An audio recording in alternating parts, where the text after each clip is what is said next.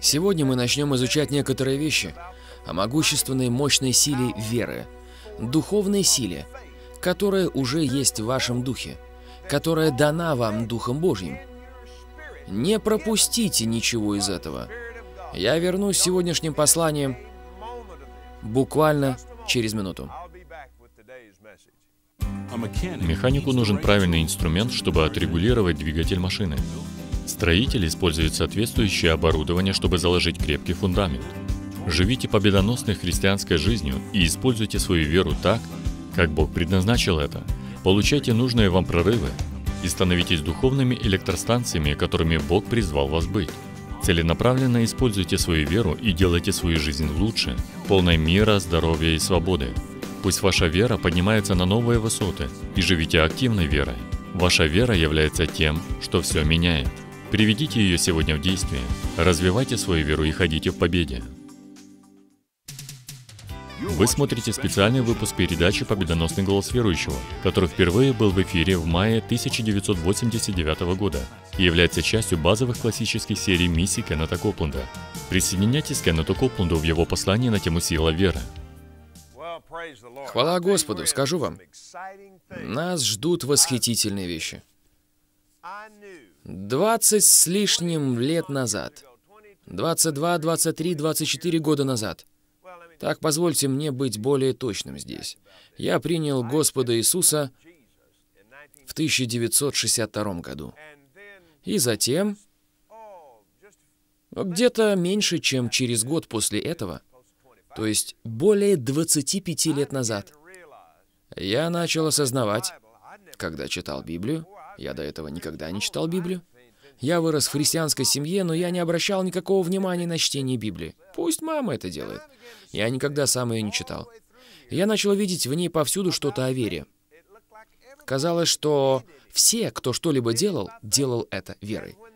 И когда они делали что-то верой, результаты были абсолютно сверхъестественными. И я начал видеть, эй, вот это вера. В ней вся суть. Если я смогу ухватиться за это, если я смогу понять, где она и как ее получить, тогда то, что я делаю, тоже будет приводить к сверхъестественным результатам. Но я не знаю, казалось, что где бы я ни был, я говорил что-то проповеднику или пастору, я говорил что-то каким-то другим христианам, что-то вроде «Скажите мне, как использовать веру?» И они смотрели на меня как-то странно и говорили «Ну, вы никогда не знаете, что Бог будет делать». Или еще что-то в этом роде. Или лучше быть поосторожнее с этими штучками веры. Я и не мог понять, почему все такие. Я приходил в церковь, и они говорили вам, «Вам нужна вера». И я говорил, «Да, да, аминь». И они говорили, «Вот что я вам скажу». На следующей проповеди в следующее воскресенье говорилось, «Вот что происходит, когда есть вера». И опять-таки, все те же самые вещи, о которых я читал и которые узнавал обо всех тех мощных людях веры и о том, что будет делать вера. Затем в следующее воскресенье проповедовалось о том, что происходит, когда у вас нет веры. И я говорил, о да, ну в следующее воскресенье уж точно. В следующее воскресенье мне скажут, где получить веру и что с ней делать, как ее применять. Я приходил в следующее воскресенье, и там опять проповедовался о чем-то вроде «жала во плоти Павла» или о «бедном Иове», и через воскресенье или два о том, что Бог будет убивать людей, и что Он сломает мне ногу, чтобы исцелить ее, и что без веры я не смогу исцелиться, и я уже не мог этого выдержать. Когда кто-то наконец скажет мне, что же это такое? Что такое вера? Меня так это расстраивало. Я подходил и просил, расскажите мне, как использовать веру. Тебе лучше иметь в этом мудрость, тебе не стоит лезть в неконтролируемый пожар. Нет, я хотел оказаться в вере. И все это меня сильно расстраивало. Я молился, и я искал Бога. И я нахожусь в поисках веры с тех пор, как стал христианином. Все эти годы это было во мне, в отношении веры. Я хочу знать о вере, обращенной к Богу. И я узнал, что послание к евреям является одним из основных учений Иисуса Христа.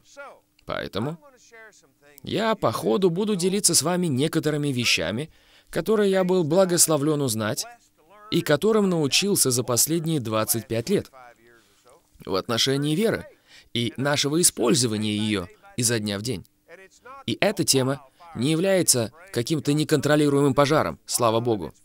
Иногда она бывает безудержной, и она полна огня. Но это не что-то зловещее, о чем Бог не хочет, чтобы вы знали. Нет, слава Богу, это дар Божий. И нам нужно больше узнавать о ней. И перед тем, как мы приступим сегодня к этому, давайте помолимся. И мы попросим Бога, Его Духом, подняться в нас и открыть глаза нашего понимания в отношении этой изумительной, восхитительной, мощной вещи, которую Бог Иисусом Христом сделал доступной нам с вами. Отец, мы прославляем Тебя сегодня. Мы поклоняемся Тебе на этой передаче. я прошу Тебя во имя Иисуса подняться внутри всех нас. Наполни наше сердце пониманием и духовной мудростью в отношении веры Божьей. И мы благодарим Тебя за это во имя Иисуса. Аминь. Если у вас есть с собой ваша Библия, я хочу, чтобы вы открыли 11 главу Евреям. Вы Дух. Бог есть Дух. Вы Дух. То, что вы являетесь духовным существом, не означает, что это что-то нереальное. Некоторые люди думают, что духовная сфера — это что-то такое абстрактное, невразумительное, о чем в действительности никто не может ничего знать. Нет, нет, нет. Духовный мир намного реальнее, чем этот материальный мир. То, что вы не можете его видеть, и мало когда можете его чувствовать, еще не означает, что он нереален. Это просто означает, что вы не различаете его. Дух сотворил всю материю.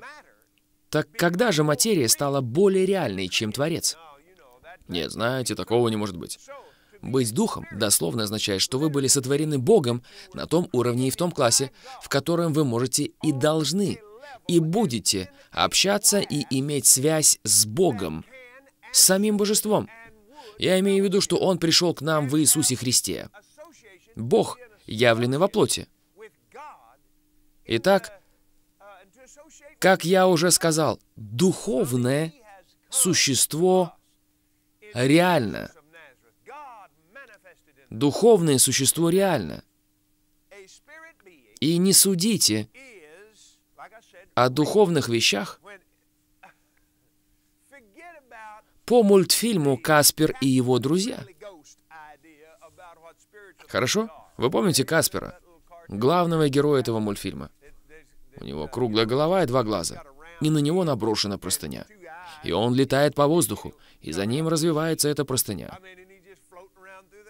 Нет, нет, нет, нет, нет. Духовное существо совершенно не такое. Если бы мой дух вышел из моего тела, и вы могли увидеть мой дух, увидеть настоящего меня, вы сейчас смотрите не на меня, вы смотрите на мое тело. И вы в действительности видите лишь малую часть моего тела потому что мое тело облачено в одежду. А вот мой дух тоже облачен. Мое тело облачено в одежду, а мой дух облачен в мое тело. если бы вы одновременно могли увидеть мое тело и мой дух, они выглядели бы одинаково, потому что у духовного существа, у духовного человека есть руки, голова, глаза, ноги. Вы бы не заметили разницы. Это вечное существо. Вечный человек. Это тело, просто транспортное средство, в котором я передвигаюсь, в котором вы передвигаетесь в этом земном мире, который является материальным, чтобы мы могли контактировать с материальными вещами. Если бы у вас не было вашего тела, то для вас, как духа, этот стол не был бы твердым. Иисус после того, как Он воскрес из мертвых, сказал, «Осижите меня, ибо дух плоти и костей не имеет, как видите у меня». Даже его воскресшее тело имело плоть и кости. Понимаете? Физическое тело. Однако в нем не было крови. Слава Божия текла по его венам в прославленном теле, в котором он просто прошел сквозь дверь после того, как поужинал с ними. Он сел и ел с ними, а затем прошел сквозь дверь, не открывая ее. То есть он действовал в сверхъестественной сфере. Это не означает какую-то призрачную сферу. Это означает сверхъестественную власть над естественной сферой.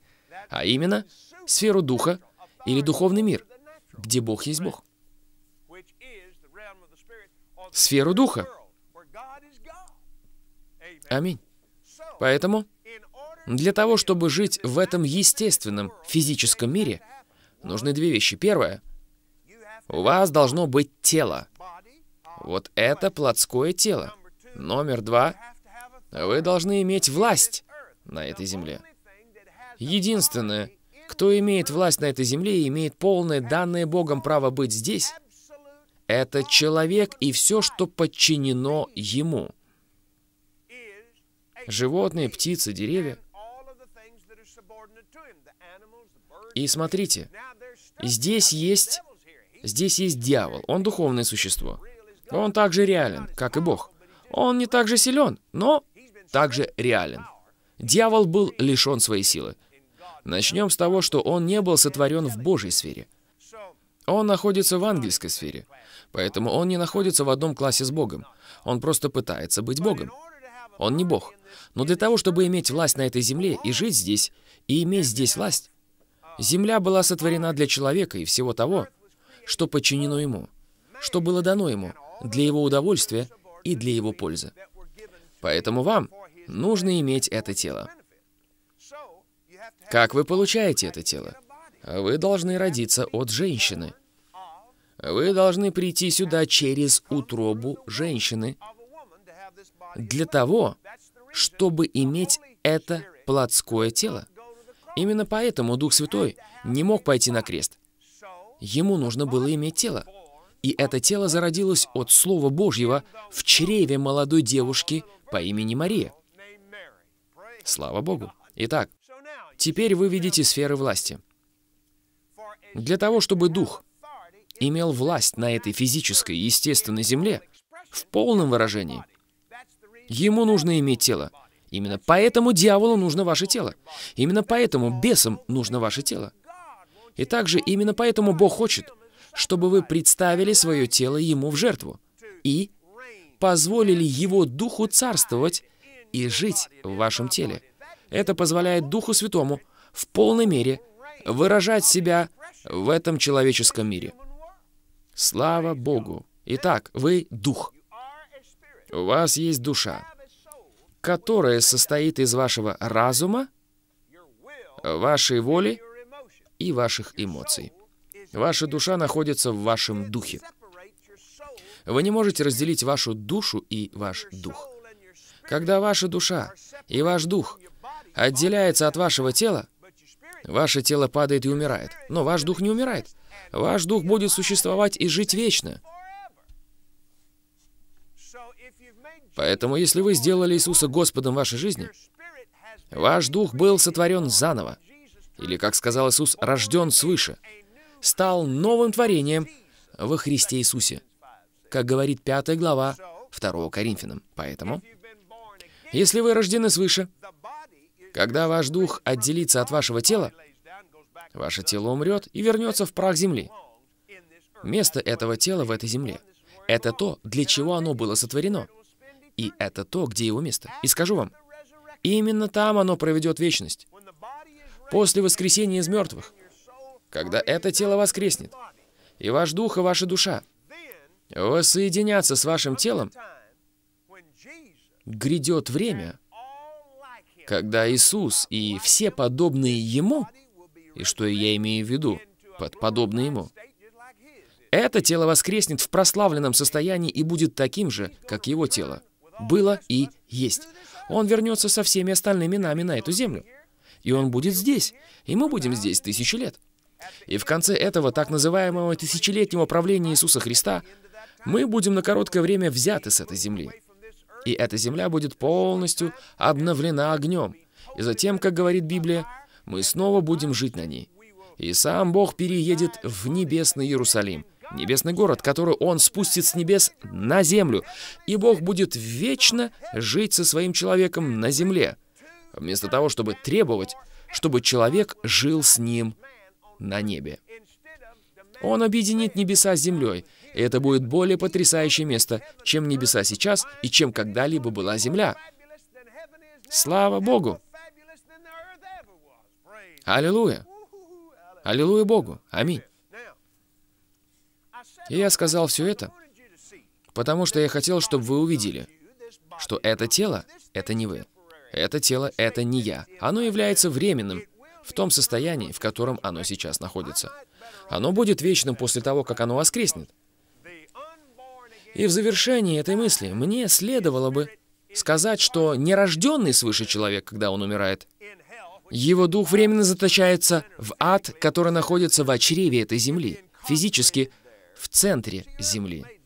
Он заточается туда. Понимаете? Земля была сотворена для человека, и именно на земле он и будет пребывать. Это не означает, что он не может путешествовать к звездам и все такое. Это все придет позже под контролем руки Божией. Но на данный момент есть эта земля. Хорошо. И нерожденный свыше человек, человек, который позволил дьяволу господствовать над ним и так никогда не сделал Иисуса Христа Господом своей жизни, не потому что Бог хочет наказать его, поскольку Бог сделал Иисуса доступным каждому, кто захочет, а потому что этот человек отверг Иисуса. Как только его тело отделится от его души, его духа, его тело умрет и вернется обратно в землю, а его дух будет заточен в ад, в центре земли. Затем, когда наступит это время, называемое второй смертью, его тело воскреснет и воссоединится с его старым нерожденным свыше духом и его необновленной душой, его тело, его душа и его дух воссоединятся навечно – под господством его бога-дьявола, и они вместе с дьяволом вечно будут мучиться в озере огненном. Каждая немощь, каждая болезнь, каждая проблема по-прежнему навечно будет оставаться в этом старом теле, и он не сможет от этого избавиться. Просто не сможет от этого избавиться. Слава Богу за Иисуса. Благодарение Богу, что нам не придется проводить вечность таким образом. Аминь. Итак, вы дух. У вас есть душа, и вы живете в теле. Ваш дух родился свыше. Ваша душа, а именно ваш разум, ваша воля и ваши эмоции, нуждается в том, чтобы быть обновленными Словом Божьим. Для того, чтобы мыслить так, как мыслит Бог. Иметь Его мысли. А ваше тело нуждается в том, чтобы быть сделанным здоровым. Ваше тело нуждается в том, чтобы быть очищенным Духом Божьим, омытым водой Слова Божьего. Ваше тело должно быть подчинено вашему Духу через учение и обучение Духа Святого, чтобы не позволять вашему телу и вашему разуму, и вашей душе, вашей воле и вашим эмоциям объединяться и выступать против вашего духа и улавливать ваш дух в ловушку этого плотского физического мира. Это то, что дьявол хочет, чтобы произошло. Если он не смог помешать вам родиться свыше, он хочет уловить вас в ловушку и не дать вам что-либо делать, что будет препятствовать его работе, потому что он знает, что доступно вам. Он видел это раньше. Он просто... Его хорошенько отхлестали этим мечом духа и не раз, поэтому он не хочет, чтобы вы его трогали. Поэтому дьявол создал христианизм. Он создал религию, в которую мы можем вовлечься. Он создал всевозможные религии. Он очень религиозное существо. И он создал всевозможные религии, в которые мы можем погрузиться. Коммунизм — это религия. У него есть всевозможные религии, где вы можете поклоняться ему, если вам нравится. Если вы не хотите поклоняться ему, то дьявол заставит вас ему поклоняться или заставит вас поклоняться чему-то еще, чему угодно, только не Богу. Когда вы начинаете поклоняться Богу, тогда вы начинаете контролировать и брать власть над делами дьявола. А он этого не хочет. И из христианства он создал для нас религию, христианизм, чтобы увести нас в сторону от Слова Божьего. И даже несмотря на то, что мы рождены свыше, уговорит нас вести себя так, как будто мы не рождены свыше. Уговорит нас упрашивать Бога, «О, знаешь, мы такие недостойные, Господь, мы такие ничего не стоящие, о, мы не заслуживаем этого». И впадать в этот синдром, вместо того, чтобы говорить «Я хочу поблагодарить тебя, Отец. Я был ничего не стоящим и недостойным, но благодарение Богу, ты все равно пришел. Ты вошел в мою недостойность, ты вошел в мою никчемность и принес мне свое достоинство и свою значимость». И я так этому рад. Я просто прославляю Тебя. У меня есть вера, и я уповаю на Твое помазание. Я был рожден заново, мой дух был рожден заново, и во имя Иисуса я беру власть над этой старой плотью, которая пытается говорить мне, что я ничего не стоящий. Я беру власть над своим разумом при помощи обетований Божьих. Я просто хочу прославлять Тебя и благодарить Тебя. Вы можете слышать разницу между первым и вторым. В одном есть вера, а в другом нет. Поэтому, когда мы начинаем смотреть на это и изучать это, мы начинаем понимать, что когда мы родились свыше, Наш духовный человек был рожден от Духа Божьего. А в рожденном от Боги Духе есть все отличительные черты и характер Бога. И проблема была в том, что разум и тело заглушали и сдерживали Дух, который рожден заново, и в котором фактически живет Дух Святой. Сдерживали характер Иисуса, любовь, радость, мир, кротость, доброту, веру, воздержание. Все эти остальные вещи. Разум и тело заглушали и сдерживали мудрость Божью, ум Христов. Как говорит Библия, есть у нас. Сдерживали все эти вещи, сам характер Иисуса, не давая Ему взять власть над этой плотью и проявляться в этом естественном физическом мире, в духе и в сердце, и, следовательно, в разуме и теле этого верующего, и изменять окружающие обстоятельства. Итак, нам нужно понять, что когда мы родились свыше, в нас была вложена вера Божья. Когда мы родились свыше, любовь Божья, как говорит Библия, излилась сердца наши Духом Святым. Это не что-то, что произойдет спустя шесть, восемь, десять месяцев. Нет, это произошло, когда вы родились свыше. Точно так же, когда ребенок рождается от своих родителей. Он имеет те же самые отличительные черты, те же самые руки, ноги, глаза, уши и все характеристики своих родителей. Что ж, нашим духовным родителем теперь является Иисус. И Он наш Отец. И во имя Иисуса мы были рождены заново, и Его отличительные черты и подобие прямо здесь внутри, в нашем духовном человеке, что включает в себя и веру. И в этом направлении мы и будем двигаться. Сегодня наше время подошло к концу. Мы заложили основания для этого, и завтра мы начнем разбирать тему веры. Я не буду делать просто что-то теологическое, говорить об этом какими-то формулировками. Я хочу поговорить об источнике веры, о том, что ее питает, о сущности веры. И затем я покажу вам, как использовать ее, подобно тому, как механик использует свой инструмент. Мы узнаем обо всем. Это время для передачи «Победоносный голос верующего». Я Кеннет Копланд. Сегодня особенный день. Возьмите сейчас свою Библию. Мы помолимся, и затем мы обратимся к Слову Божьему и поговорим об этой потрясающей духовной силе, которую Библия называет верой. Слава Богу! И она является победой, которая побеждает мир, как говорит Библия. Аллилуйя. Сама мысль. Просто задумайтесь об этом на минуту. Сама мысль о том, что внутри меня, внутри вас и внутри каждого человека, который сделал Иисуса Христа Господом в своей жизни, есть что-то, что намного сильнее всего, с чем только может выступить против вас этот мир, и что является победителем этого мира. Это то, что говорит 5 глава 1 Иоанна. «Всякий верующий, что Иисус есть Христос, от Бога рожден. И всякий рожденный от Бога побеждает мир. И сия есть победа, победившая мир, вера наша. Слава Богу, давайте помолимся. Отец, во имя Иисуса мы благодарим Тебя за это. Мы просим Тебя открыть глаза нашего понимания в отношении этой потрясающей темы веры.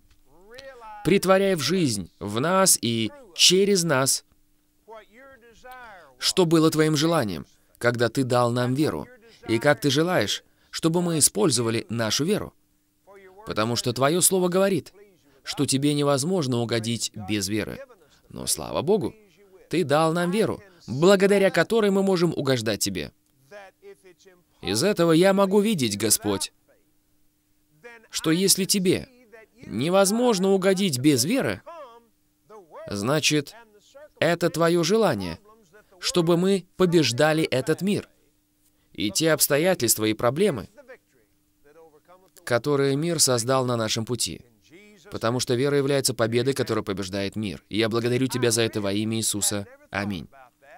И я в действительности никогда не думал об этом таким образом, пока не начал молиться. Я думал об этом другим образом и смотрел на это под разными другими углами. Но когда я молился, это просто промелькнуло в моем духе. И откройте сейчас свои Библии на послание к евреям. И мы увидим это здесь, в 11 главе евреям, в 6 стихе. «А без веры угодить Богу невозможно, ибо надобно, чтобы приходящий к Богу веровал, что Он есть, и ищущим Его воздает». Поэтому если Ему невозможно угодить без веры, и вера является победой, которая побеждает мир, тогда легко понять, почему вы не угодите Богу до тех пор, пока у вас не будет веры поскольку ему угождает, или он получает удовольствие только тогда, когда мы побеждаем во имя Иисуса. Аллилуйя. Хорошо. Евреям 11 глава 1 стих. Вера же есть осуществление ожидаемого и уверенность в невидимом. В ней свидетельствованы древние. Верою познаем, что веки устроены Словом Божьим. Так что из невидимого... Итак, обратите на это внимание. Помните, вчера мы говорили о разнице между духовным миром и материальным миром. И мы говорили, что то, что вы не можете его видеть, не делает духовный мир менее реальным, чем материальный мир. Это не какой-то призрачный, странный, нереальный, неуправляемый мир, полный гоблинов и бесов. Их там хватает, но в действительности они не в духовном мире, они духи, но они управляются духовным миром. Иисус Христос из Назарета вышвырнул их вон из духовной сферы. Они действуют в этой естественной сфере, чтобы уничтожать нас с вами, но мы не будем уничтожены. Слово Божие говорит, что дьявол ходит, как рыкающий лев. Там не сказано, что он рыкающий лев. Сказано, что он ходит как рыкающий лев, ища кого поглотить. Я говорю вам прямо сейчас. Мы с вами. Те, у кого он ничего не поглотит. Слава Богу. Итак, посмотрите на это. Верую познаем, что веки устроены Словом Божьим. Так что из невидимого произошло видимое. Или то, что открыто нашим пяти физическим чувствам. То, что мы можем трогать, слышать, обонять, пробовать на вкус, видеть и так далее. Из невидимого произошло видимое. Или видимое не произошло из чего-то, что вы можете видеть. Итак, здесь не сказано, что этот мир произошел из ничего. Люди говорят, ну знаете, вначале Бог сотворил этот мир из ничего. Нет, нет, нет, нет. Бог не сотворил его из ничего. Он сотворил его из чего-то, чего вы не можете видеть. И это очень, очень важно. И он не использовал какую-то естественную физическую субстанцию, которая уже существовала, когда творил небеса и землю. Но он сотворил их из чего-то, что является субстанцией. Итак, заметьте, здесь сказано, вера же есть осуществление или же субстанция ожидаемого. Верою, которая есть осуществление, субстанция. Я бы хотел добавить это сюда в помощь к нашему изучению. Если вы прочитаете сейчас это снова вместе со мной в первом стихе. Вера же есть осуществление, субстанция ожидаемого и уверенность в невидимом. И теперь третий стих. Верою, и давайте добавим это, которая является субстанцией, которую мы не можем видеть, познаем, что веки устроены Словом Божьим, так что из невидимого произошло видимое. Итак, из чего оно было сотворено? Оно было сотворено из этой субстанции, в духовной сфере, которую вы не можете видеть физическими глазами, которую Библия называет верой. Верой. Поэтому вера не является продуктом рассуждения и умозаключения. Я хочу, чтобы мы посмотрели на кое-что. Не закрывайте это место в послании к евреям. Если у нас будет время, мы к нему вернемся и увидим кое-что. Я хочу, чтобы мы обратились к 11 главе Евангелия от Марка, значительная часть которой посвящена теме веры, вере Божьей. В 11 главе Евангелия от Марка, я хочу, чтобы мы прочитали 27 стих, Марка 11, 27. Пришли опять в Иерусалим. И когда он ходил в храме, подошли к нему первосвященники и книжники и старейшины и говорили ему, «Какую властью ты это делаешь? И кто тебе дал власть делать это?» Иисус сказал им ответ, «Спрошу и я вас об одном. Отвечайте мне. Тогда и я скажу вам, какой властью это делаю. Крещение Иоаннова, итак, послушайте, с небес было или от человеков?» Иисус сказал, «Я скажу вам, какой властью я это делаю, но я хочу задать вам вопрос. Крещение Иоаннова было с небес или от человеков? Ответьте мне. И послушайте. Они же рассуждали между собой.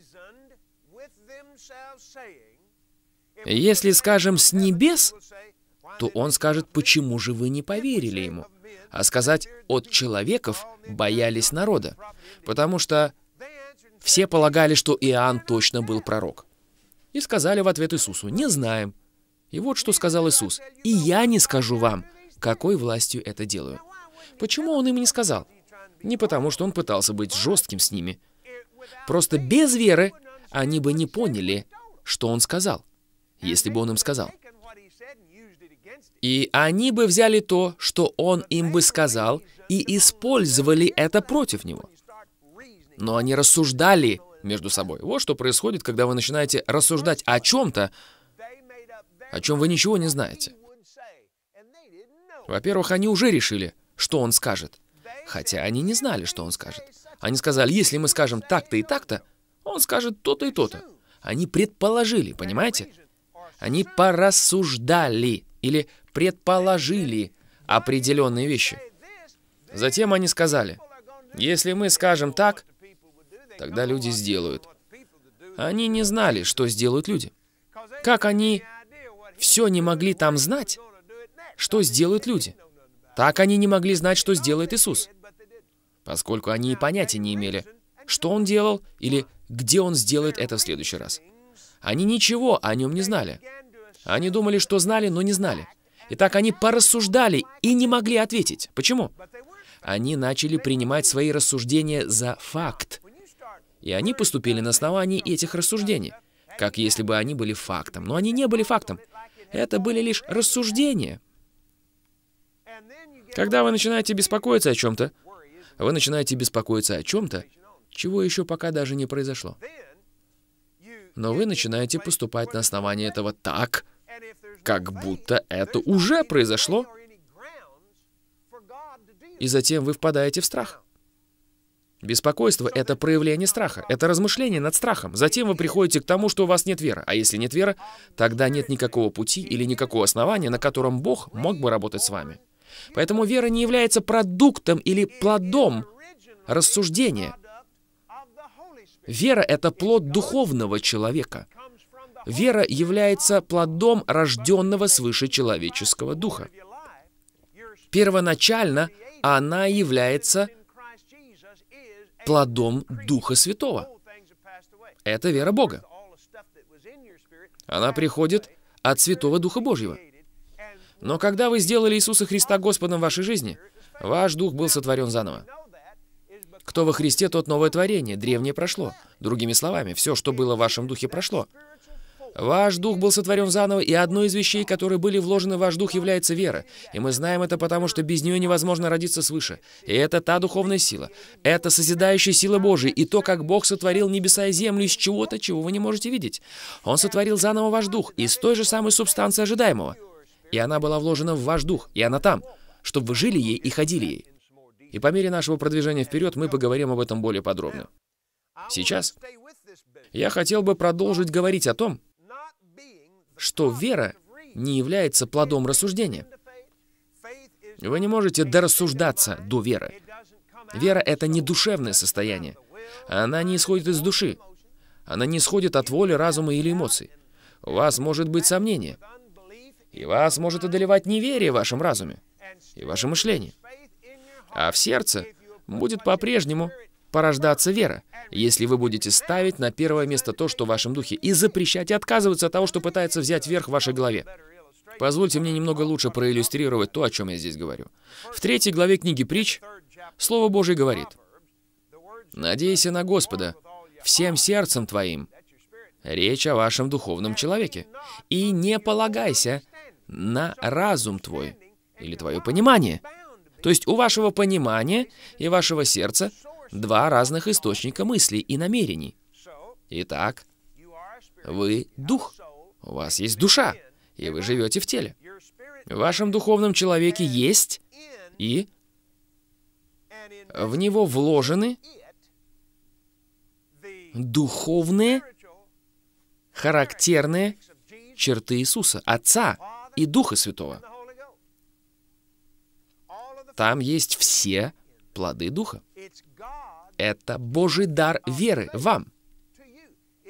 Это вера, которой мы живем.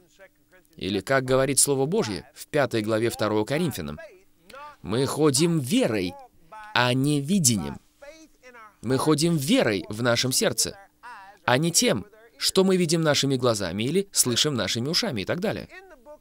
И в книге Исаия в первой главе, в 18 стихе, Господь говорит, давайте просто откроем и прочитаем это.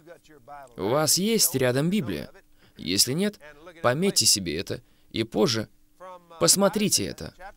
Книга Исаия идет сразу за книгой притч, в третьей главе, в которой мы находимся. Дайте мне секунду, а то мои пальцы перестали находить то, что мне нужно. Аминь. Книга Исаия, первая глава. 18 стих. Тогда придите и рассудим. О, подождите, брат Копланд, я думал, вы сказали, что вера не приходит из рассуждения. Так, подождите минутку. Тогда придите и рассудим, говорит Господь. Он не сказал нам с вами собираться вместе и рассуждать. Как-то раз я выехал за пределы города. Я ехал по дороге куда-то проповедовать, и рядом на переднем сиденье у меня лежала Библия. И я проехал небольшой городок. И когда я уже проехал его и выехал за его пределы, там стоял большой рекламный щит, на котором было написано «Тогда придите и рассудим». Точка, точка, точка, точка. И внизу Исаия 1.18. И еще ниже было указано название церкви, которая установила там этот рекламный щит, и название их деноминации. И это конкретная деноминация, простите меня, но это факт. Они известны тем, что ни во что не верят. Знаете, они будут спорить со столбом, только лишь потому, что столб думает, что он столб. Я имею в виду, что они ничему не будут верить. И тут этот щит, на котором написано «Придите и рассудим». Я подумал, боже мой, в этом есть что-то неправильно. Я имею в виду, мы что, собираемся вместе и рассуждаем о Боге? Мы что, собираемся вместе и рассуждаем об исцелении, рассуждаем о рождении свыше. Именно поэтому эти люди ни во что и не верят. Они просто собираются вместе, рассуждают об этом и приходят к окончательному заключению, что ничего из этого уже не осталось. Понимаете? я подумал, в этом есть что-то неправильное.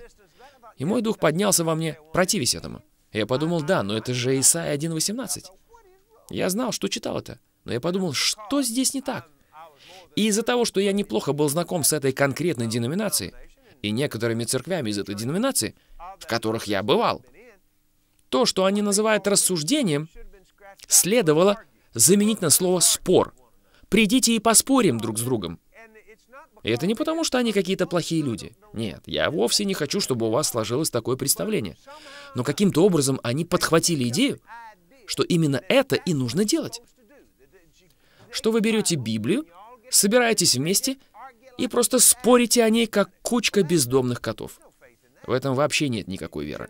Вы порождаете раздор и распрю, когда делаете это. Наконец, я немного... Что здесь не так? Я задал этот вопрос вслух.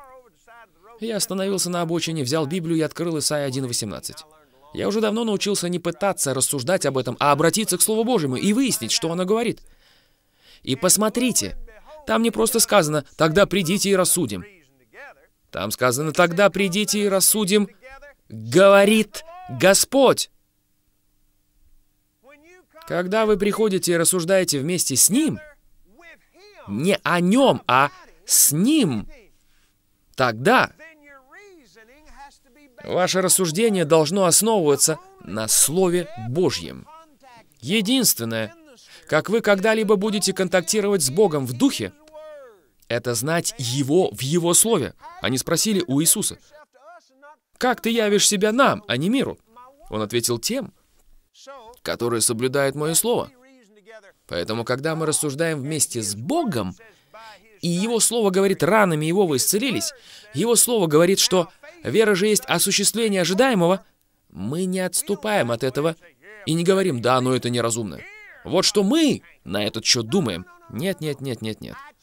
От рассуждения своего ума я перешел к тому, что начал рассуждать своим сердцем. Потому что я утвердил в своем сердце, что Слово Божье — является окончательным авторитетом.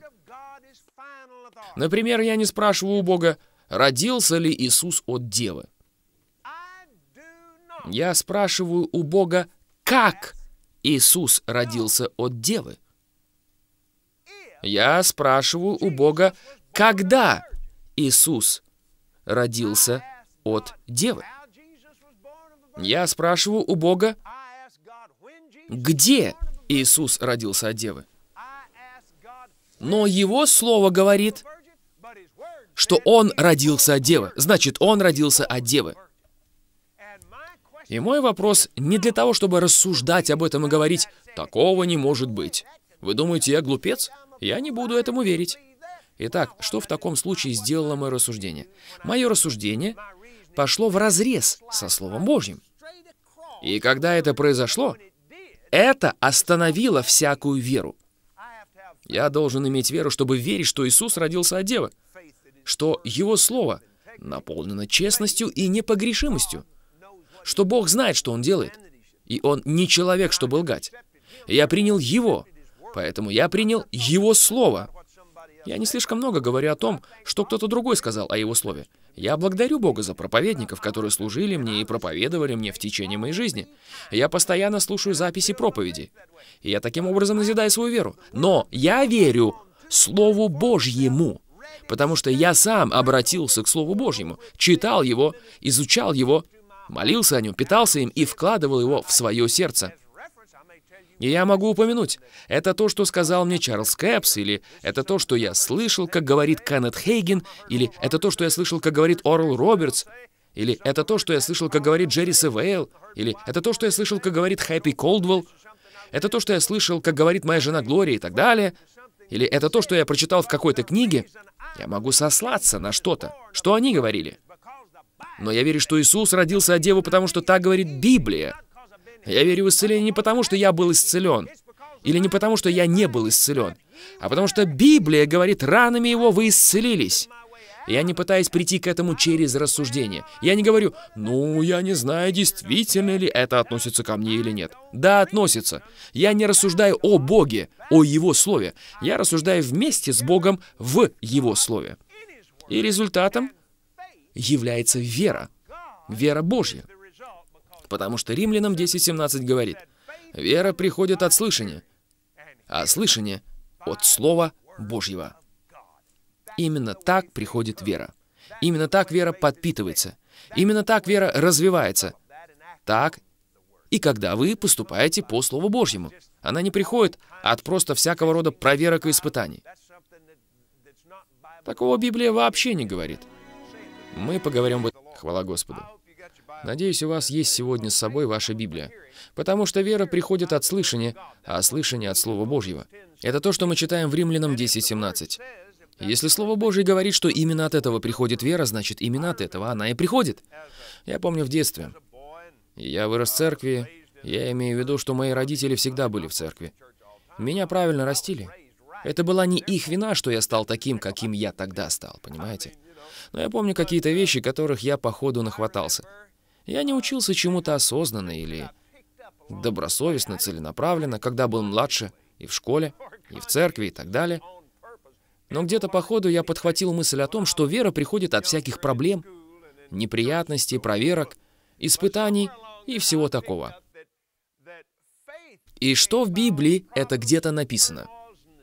Но если бы именно это приносило веру, все на земле были бы гигантами веры. Поэтому мы знаем, что это неправда. Но Библия говорит, вера приходит от слышания, а слышание от Слова Божьего. Итак, вера не является плодом рассуждения. Это духовная сила, поэтому она является плодом Духа. Она прежде всего является плодом Духа Святого. Это вера Бога. Библия говорит в 12 главе Евреям, что Иисус — начальник или автор нашей веры.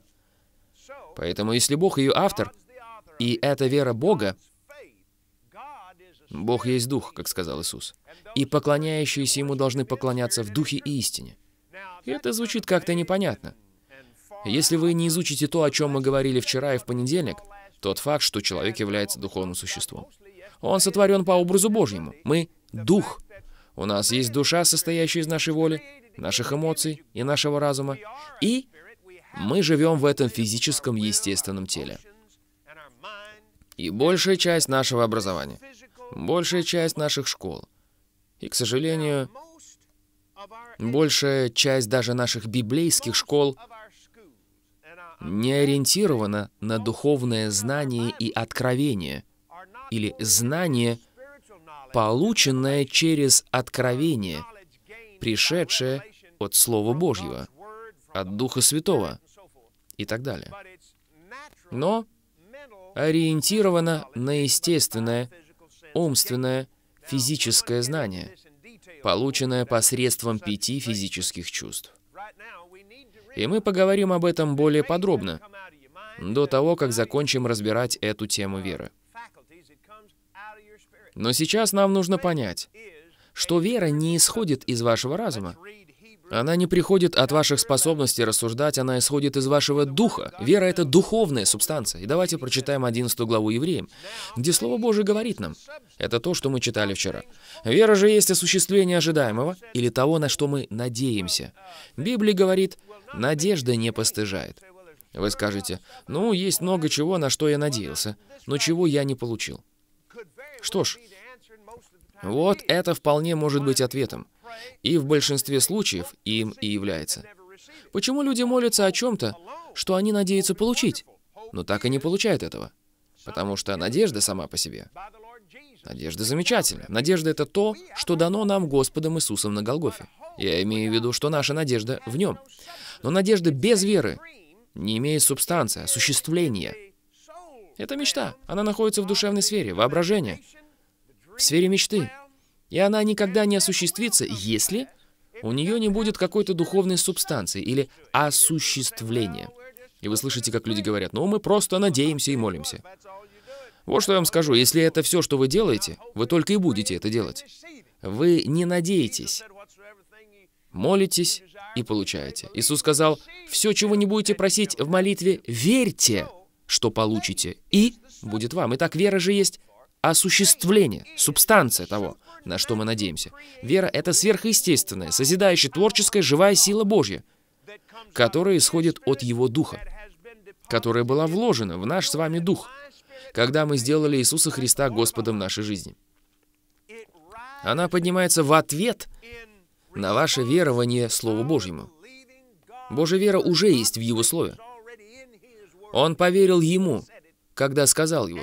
И она поднимается чтобы устремиться в этот нереальный, что касается всего материального, мир надежды, воображения и мечты, и становится предметом этой надежды, и становится субстанцией этой надежды.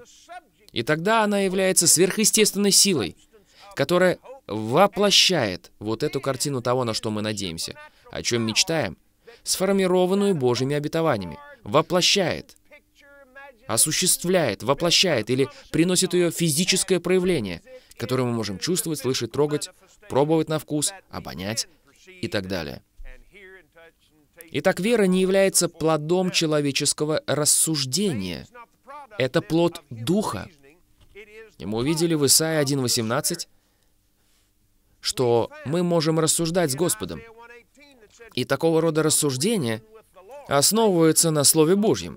Мы основываем наше совместное рассуждение, наше рассуждение с самими собой на нашем рассуждении с Господом. Я не рассуждаю о Его Слове, истинно оно или нет. Я утвердил в своем сердце, что оно истина. Если что-то говорит мне, что оно не истина, тогда я противлюсь этому. Этому, а не Слову Божьему. Я занимаю сторону Слова Божьего. И мои рассудительные способности должны прийти в соответствие со Словом Божьим. Чтобы у веры была возможность изменить эту вещь, которую я вижу, которая говорит, что Слово Божье не истина. Если мое тело болеет, и оно говорит мне, что оно болеет, если я хожу и говорю, да, я больной, Бог, я больной, Сатана, я больной, жена, я больной, дети, я больной, пастор, я больной, тело, ты больной, да, я знаю, что ты больной, да, ты больной. Что ж, все это время, которое я говорил, все это, и рассуждал обо всем этом в своем уме, я приходил к Богу, говоря, я, конечно, надеюсь, что буду исцелен. Я, конечно, надеюсь, что буду исцелен, да. Я верю, что Бог когда-нибудь исцелит меня. Интересно, почему Он никогда не исцеляет меня когда-нибудь? Когда-нибудь. Послушайте, оно не здесь, и в этом нет веры. Понимаете? Я рассуждая решил, что то, что я вижу, истина. Видеть — это не значит верить. Верить значит видеть. Этот мир говорит, видеть значит верить. Они ни во что не верят, пока не смогут это увидеть. Как они когда-либо смогут изменить то, что они видят, если они не верят? Понимаете? Это все наоборот. И сатана хочет, чтобы именно там вы и сидели. Но когда вы обращаетесь к Слову Божьему и говорите «да», Слово Божье истина, ранами его вы исцелились. Петр сказал «ранами его». Да, ранами его мы исцелились. Говорит 53 глава Исаии. И Петр говорит, ранами его вы исцелились. Раз мы исцелились, и вы исцелились, значит, я исцелен. Я говорю верой в соответствии с тем, что уже сказал Бог. И тело говорит, нет, я не исцелилась. Я говорю, минуточку. Ты тело, не я. Ты всего лишь мое тело. И во имя Иисуса я исцелен. И из моего духа в мое тело течет исцеляющая сила Божия. Тело, отвечай на это. Я верю, что получаю исцеление в тебе. Отец, я благодарю тебя за это во имя Иисуса. Благодарение Богу. Что касается меня, я исцелен. Итак, что я сделал? Я согласился со Словом Божьим, даже если мне пришлось не согласиться с моим телом. Это фактически является основой веры, потому что Библия говорит в 4 главе послания к римлянам, что верой мы называем несуществующее как существующее. Давайте остановимся здесь и снова немного посмотрим на эту веру, как на субстанцию. Вера же есть осуществление, субстанция ожидаемого и уверенность в невидимом. В ней свидетельствованы древние. Верою познаем, что веки устроены Словом Божьим, так что из невидимого произошло видимое. Все то, что мы можем видеть, земля, деревья, небо и все то, что нас окружает, включая наши тела, Поскольку можно проследить, что моя плоть, мое тело уходит корнями в тот день, когда Бог сотворил тело Адама, которое Он, в свою очередь, сотворил из праха земли. Читаем дальше. Так что из невидимого произошло видимое. Или, говоря современным языком, те вещи, которые мы можем видеть, были сотворены не из чего-то, что вы можете видеть. Они были сотворены из веры. Это духовная сила. Но сила веры, которую вы не можете видеть, это созидающая сила Божья, которая становится и является семенем тех вещей, которые вы можете видеть. Поэтому те вещи, которые вы можете видеть, можно проследить, что они уходят своими корнями в веру Божью, поскольку Бог использовал субстанцию веры, чтобы сотворить их. И позвольте у вас кое-что спросить. Разве здравый смысл не подсказывает вам, что если это было сотворено из веры, то оно будет реагировать и отвечать на веру? Может ли оно быть изменено верой? Позвольте спросить у вас кое-что. Изменит ли страх физические вещи? О да, мы это понимаем, не так ли? Страх изменит цвет ваших волос. Есть задокументированные случаи. Я сейчас могу вспомнить два или три таких случая, если бы у меня было время рассказать их вам. Один из них произошел на реке впадающий в Ниагарский водопад. Там есть баржа, которая налетела на камни. Она там уже 30 или 40 лет. Но человек, который находился на ней в тот день, когда она налетела на камни, не знал, что эта баржа провисит там над обрывом 40 лет. На Великих озерах ее двигатель заглох, и ее понесло вниз по реке. И прямо перед тем, как сорваться в Ниагарский водопад. Тогда все было бы кончено.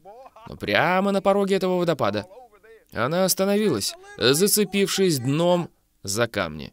И люди, находившиеся на той барже, зависли прямо над Ниагарским водопадом. В конце концов, их достали оттуда. Они даже боялись вдохнуть. Они просидели там много часов. Спасатели натянули трос, по которому спасатель добирался до баржи. Забирал с нее по одному человеку и доставлял его на берег. Но с первой попытки у них ничего не получилось. И все эти люди стояли там. На следующий день у одного из них волосы были белыми, как снег, хотя за день до этого они были темными. Когда зашло солнце, на следующий день он был так напуган, что его волосы стали белыми, как снег. Вы знаете, о чем я говорю. Может ли страх сделать вас больными? Что ж, медицина уже доказала, что страх и беспокойство являются одной из наиболее вредных вещей, вызывает множество проблем, наносит вред сердцу, вызывает артрит, тугоподвижность суставов и многое другое. Ну да, брат Копланд, все это знают. Что ж, позвольте у вас кое-что спросить. Вы можете видеть страх? Вы можете видеть его? Нет. Но вы можете видеть его результаты. Иногда вы можете чувствовать его запах. Иногда вы можете ощущать, чувствовать его. Но это не что-то, что вы можете взять, потрогать, посмотреть на это и сказать, да, это страх. Это то, что я... Нет, вы не можете это сделать. Это духовная сила. Фактически страх — это искаженная вера. Первое, что сказал Адам, когда согрешил. В Адаме была вера. Бог вложил в него веру, когда сотворил его. Потому что Богу невозможно угодить без веры. Там сказано в Евреям 11.6. И он сотворил Адама и сказал, что он был хорош. Он был им доволен. Так что у Адама должна была быть вера. И первое, что произошло после его грехопадения, Библия говорит, что он убоялся Бога.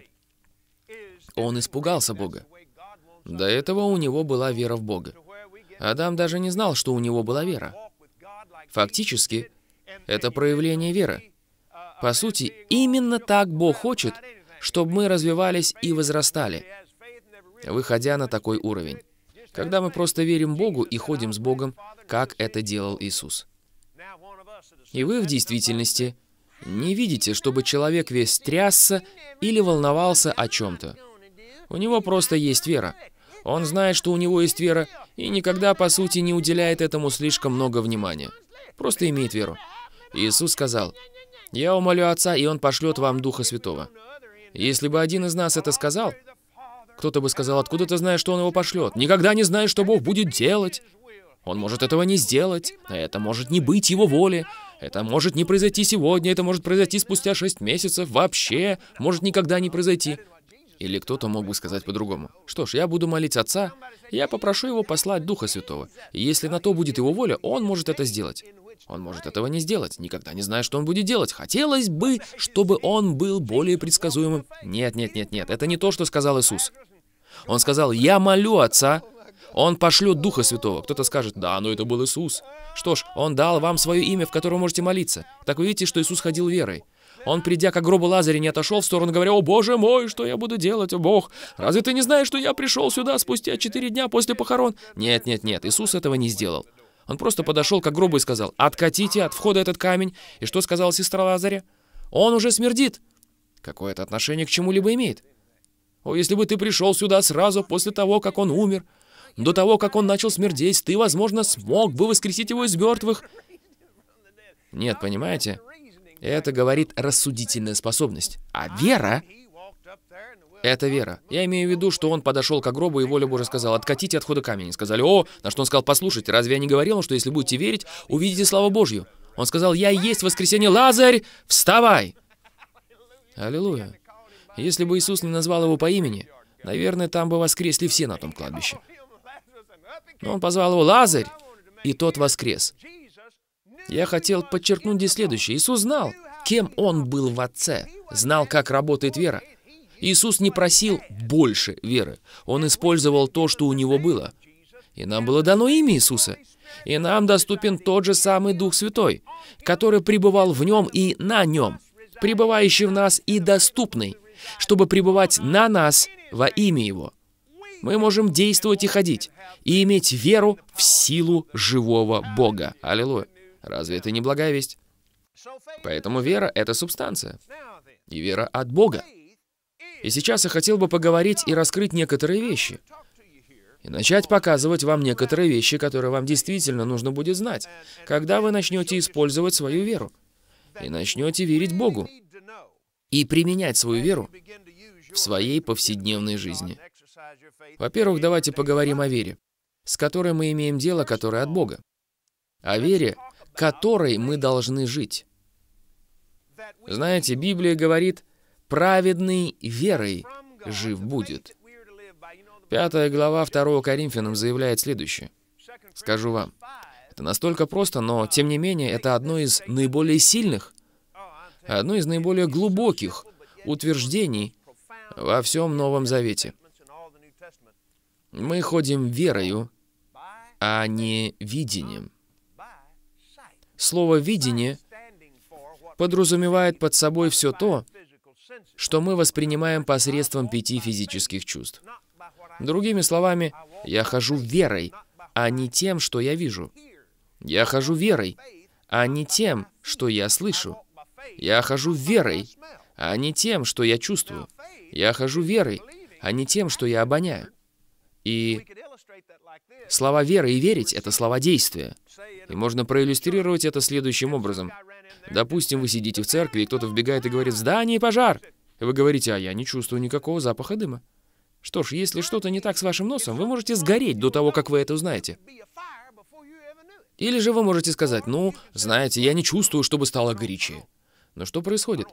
Если вы верите этому человеку, вы первым делом выбегаете оттуда. Вы первым делом поступаете на основании этого, а уже потом спрашиваете, кто-нибудь знает, действительно ли там был пожар или нет? Это не имеет никакого значения, брат. Я убегаю отсюда. И я видел, как такое происходило. Как-то раз мы поехали на служение в Луисвилл, штат Кентукки. Мы приехали туда накануне вечером.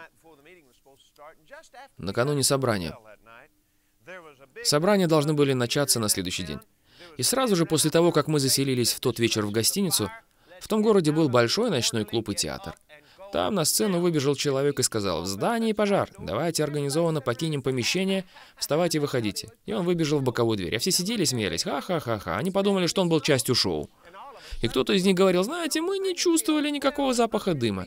И вдруг обрушилась крыша и убила 1200 человек. Просто потому, что они не поверили тому, что сказал тот человек. И Слово Божье подобно этому человеку. Подобно. Который вбегает и говорит нам, и мы поступаем на основании этого во имя Иисуса. Итак, вторая глава Ефесянам, и давайте начнем читать с 4 стиха. «Бог, богатый милостью, по своей великой любви, которую возлюбил нас, и нас, мертвых по преступлениям, оживотворился Христом. Благодатью вы спасены, и воскресил с Ним, и посадил на небесах во Христе Иисусе». То есть ту же самую силу, которую использовал Бог, чтобы воскресить Иисуса из мертвых, Он использовал для того, чтобы родить вас свыше, или духовно воскресить вас из духовной смерти. И послушайте следующее. «Дабы явить в грядущих веках преизобильное богатство благодати своей в благости к нам во Христе Иисусе. Ибо благодатью вы спасены через веру. Благодатью вы спасены через веру. И сие не от вас, Божий дар. Не отдел, чтобы никто не хвалился. Ибо мы, Его творение, созданы во Христе Иисусе на добрые дела, которые Бог предназначил нам исполнять. Речь о рождении свыше. И когда вы родились свыше, Бог вложил в вас веру, чтобы вы жили ею. Это вера, которой вы спаслись. И сейчас это вера, чтобы вы жили ею каждый день своей жизни. Это вера, которая там. будет обеспечивать вас пропитанием, одеждой, транспортом, который нужен вам, чтобы функционировать в своем служении и в своей повседневной жизни. Она будет обеспечивать всем необходимым ваш дух, вашу душу и ваше тело. И есть другие виды веры. И мы поговорим об этом завтра, так как сегодня наше время подошло к концу. Есть, естественно, человеческая вера, которая имеет дело с вашей душой, вашим разумом, вашей волей, эмоциями. Мы говорим не об этом. Есть вера Божья в дарах Духа или в проявлениях Духа Святого, когда кому-то дается дар веры. Что ж, я говорю сейчас не об этой вере. Это вера Божья, которая в Духе Божьем. Это проявление веры Духа Святого. Послушайте. Проявление веры Духа Святого — добавленной к вашей вере в роли служения. Слава Богу. Наше время подошло к концу. Готовы сегодня к Слову Божьему? Вы готовы верить Богу и высвобождать свою веру и изменять окружающие вас обстоятельства, изменять свой образ жизни? Слава Богу, скажу вам. Когда вы начинаете понимать, что Бог послал веру на эту землю, чтобы мы жили ею, чтобы мы восполняли ею свои нужды, чтобы мы были подобны Ему, Слава Богу, скажу вам, это становится чем-то восхитительным. Мы говорим не о религии, друзья. Мы говорим о том, чтобы семь дней в неделю ходить в силе и победоносном преодолении Божьим. Аллилуйя. Эта фраза «победоносное преодоление Божье». Я имею в виду, что Бог — победитель. Бог никогда не терпит поражения. Его невозможно остановить. У него есть проблемы, но проблемы никогда его не останавливают. Он их побеждает и преодолевает.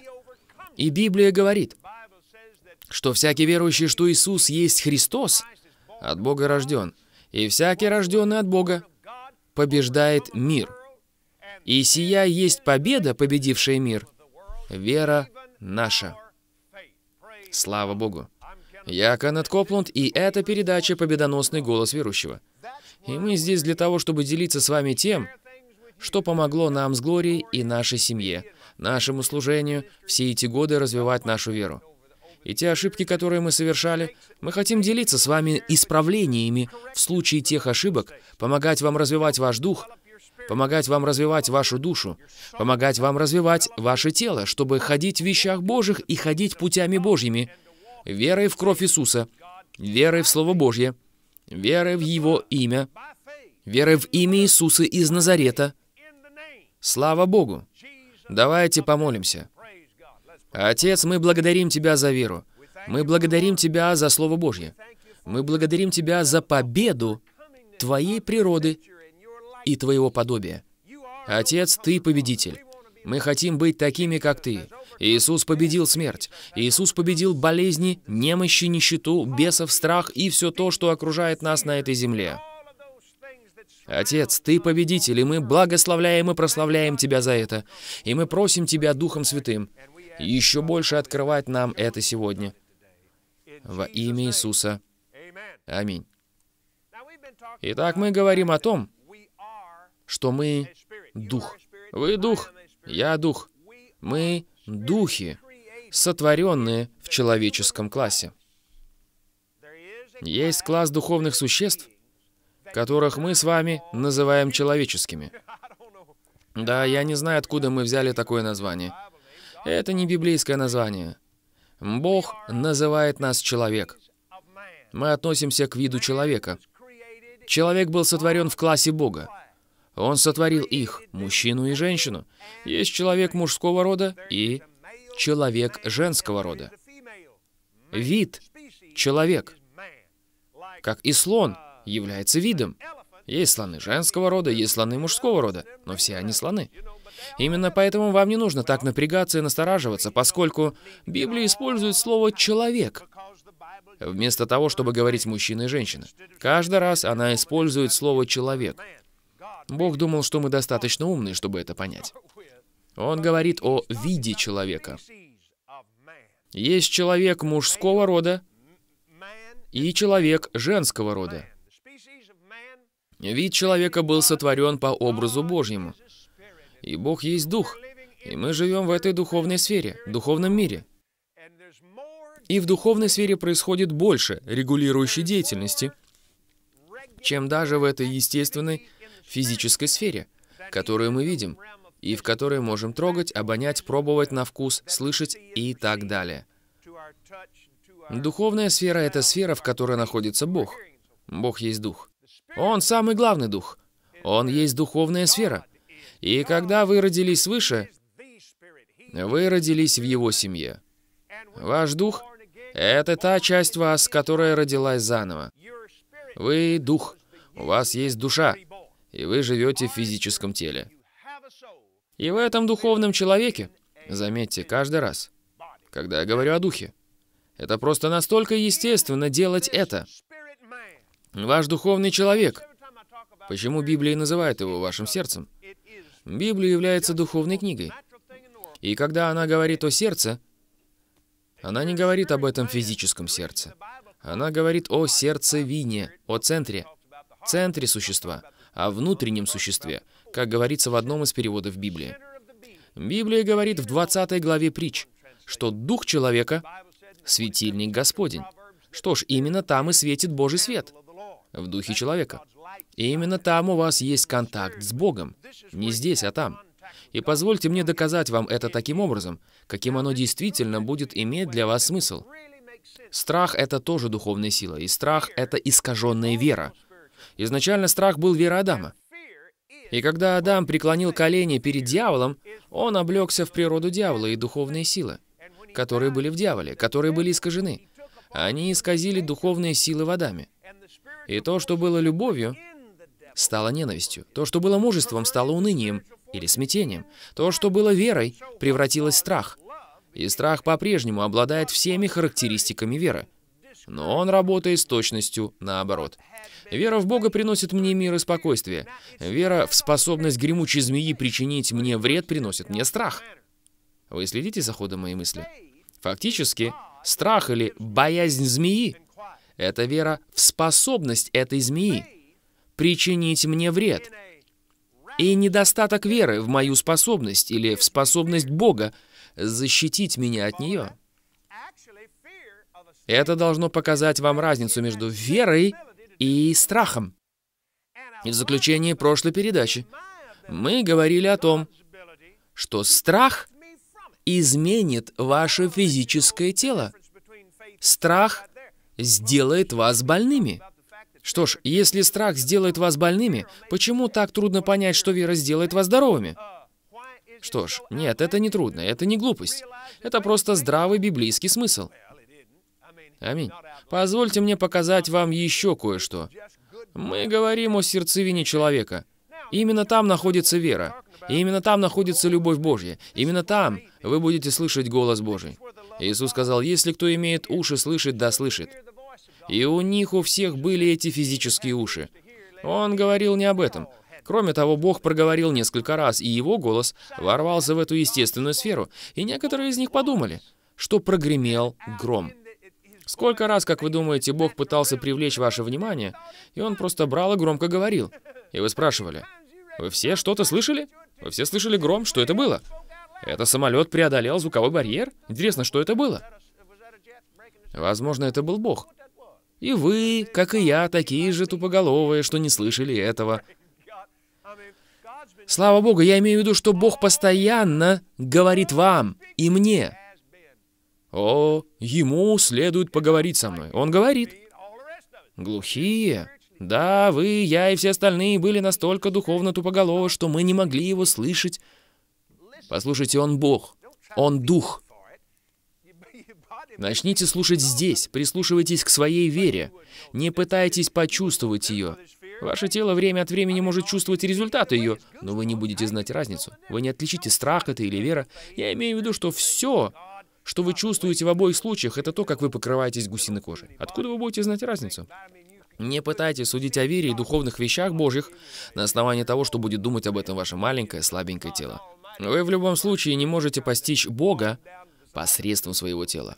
Боже мой, друзья, Он всемогущий Бог Вселенной. И вы здесь пытаетесь сжать его до размера гусиной кожи. Боже мой, насколько же можно быть глупыми? Я не знаю. Мы все в то или иное время были настолько глупыми. Это поможет вам в вашем понимании разницы между вашим духом, вашим разумом, вашей волей, вашими эмоциями, вашим телом. Послушайте, страх — это духовная сила. Так же, как и вера. И совершенная любовь изгоняет страх. Вера действует любовью. Поэтому вера — это та сила в любви, которая будет изгонять страх. Но давайте поговорим немного о страхе, потому что вы больше знакомы с ним, чем с верой.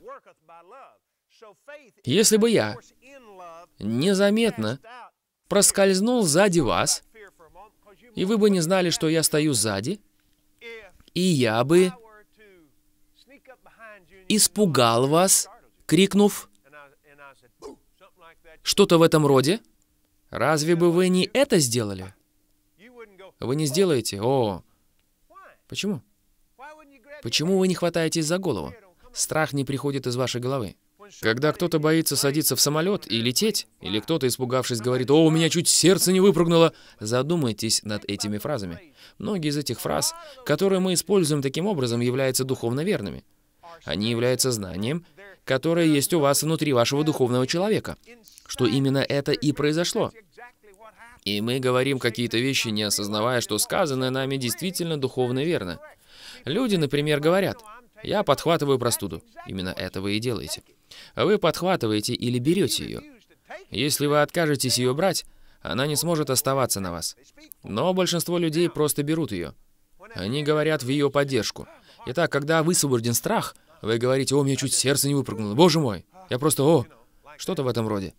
Что ж, именно там и находится ваша вера. Итак, не пытайтесь почувствовать веру.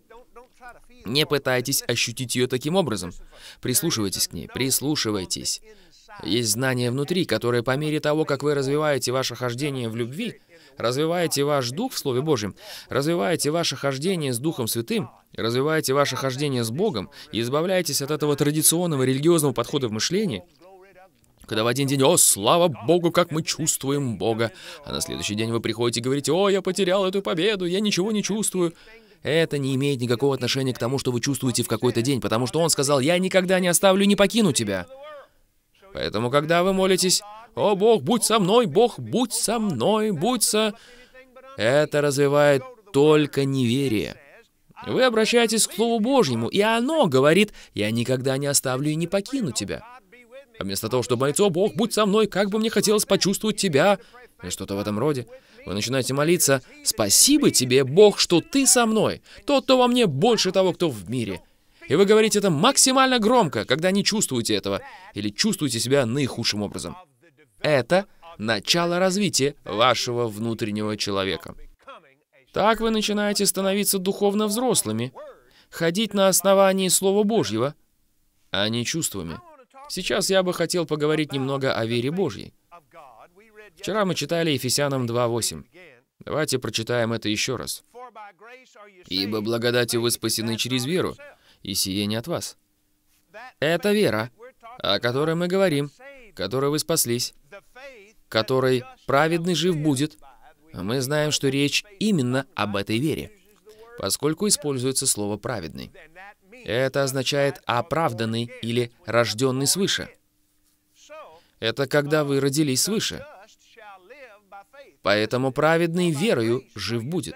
Итак, послушайте это. «Ибо благодатью вы спасены через веру, и сие не от вас, Божий дар». Кто-то скажет, ну, я думал, что благодать была Божьим даром. Что ж, так и есть. Это не вы дали себе веру или благодать. И одно, и второе от Бога. Но мы сейчас говорим не о благодати. Мы как-нибудь поговорим о ней. Но сейчас мы говорим об этой вере. Божий дар. Не отдел, чтобы никто не хвалился. Ибо мы Его творение, созданы во Христе Иисусе на добрые дела, или другими словами, когда вы родились свыше, Библия говорит, что кто во Христе, тот новое творение во Христе Иисусе. Вы Его творение, созданы во Христе Иисусе. Эта вера была вложена в вас, когда это произошло. Благодаря ей это и произошло. И вы были созданы.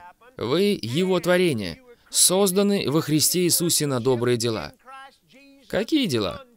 Дела, которые будут творить вера и благодать. Дела, которые будут осуществляться благодаря вере, когда вы будете ходить в этой вере перед Ним. Итак, мы сосредотачиваемся на этой вере. Но чтобы прояснить здесь некоторые вещи, давайте обратимся к 12 главе 1 Коринфянам, где говорится, Подождите минутку, я открыл 12 главу 2 Коринфянам. Мне нужна 12 глава 1 Коринфянам. Хорошо. Не хочу оставить вас, братья, в неведении и о дарах духовных. Хвала Господу, мы не останемся в неведении. Разве это не благая весть? Знаете, что когда вы были язычниками, то ходили к безгласным идолам так, как бы вели вас.